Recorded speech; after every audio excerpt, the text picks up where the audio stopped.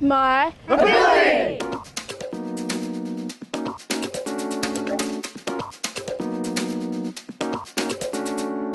Today we are focusing on abilities, but some people face challenges greater than others. We're here at Menai High School to explore the issue. What does the word disability mean to you? Um, I guess it means just not being able to have the ability to do certain things, whether it be physically or mentally. Not being able to be at your full potential, your full ability. Whether you, if you can't walk, if you can't um, be able to do physical activities, sporting doesn't matter, or even if mentally in class, if you have trouble with um, listening or learning.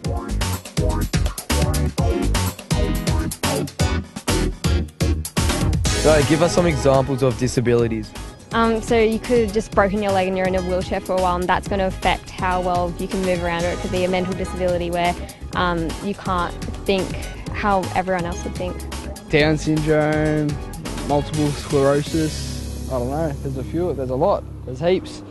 Do you think people can connect with a disability? Well, if they're not disabled, then no, because you don't, you haven't experienced it firsthand, so you can't really show how you know it well if you've never experienced it.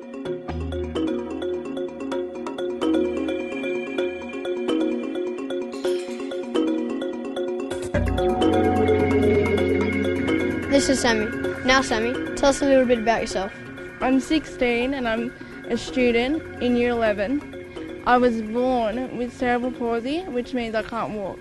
So basically, I went from a stroller to a walker to a wheelchair. And I've never been able to walk because I was born four months earlier than I was meant to be born. And yeah. What challenges do you face in everyday life? I never really think of anything as a challenge because I've had nothing to compare it to. I've never been able to walk, so I don't know what that feels like or what it would be like to have a life where I was walking and doing everything normally. So everything that other people may consider a challenge, I just consider as me doing normal things that I would do throughout my day. Do you get frustrated when you see people walking around? Yeah, sometimes I feel like it's just a little bit unfair when I see people walking around doing things that I wish I could do, even if it's just getting on a bus to go somewhere really easily. That's a struggle for me, so I do get a little bit frustrated, but you just got to take it as it comes. What challenges do you face in everyday life? Well, everything I do is basically harder. I just have to put in a little bit more thought and effort into everything to get to where I need to be. I rely on other people a lot to get done what I have to do, and that's just basically it. Where do you see yourself in the future? Uh, you know, going to uni when I'm done with school, definitely that's something that I want to do just for myself.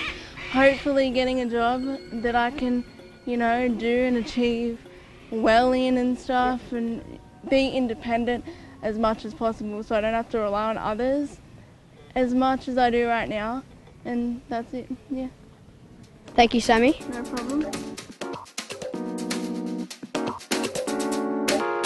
What are the issues with disability? It's unfair that some people are disabled and others aren't. Sometimes it's people with more ability than those that have a disability. Sometimes, so there you go. Many, many, many people with disabilities um, have huge capacities to contribute to, to our society and um, make our society great. Comes through disability, depression is one of the most common forms. What is it and how do you change it to an ability? This is Jen Ellis, a clinical psychologist. So tell me, Jen, is depression a disability?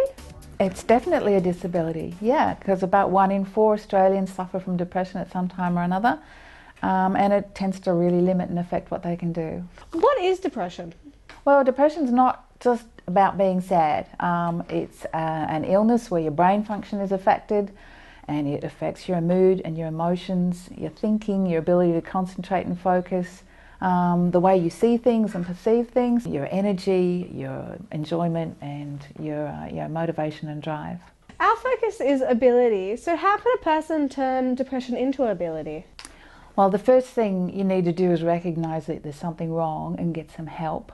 And then I find that people that work with me on their depression um, often become very insightful people. They learn a lot about themselves, they learn a lot about how they tick, what they want from life, and also it's a great way to learn a lot about people and really increase compassion, I suppose, for other people and what they struggle with. No! Dis! My ability! When it comes to abilities and disabilities, everyone is different, but at the end of the day, we're all people. It's important to look at the person before their ability. I'm Jacob. And I'm Victoria, and, we're, we're from, from High School. School.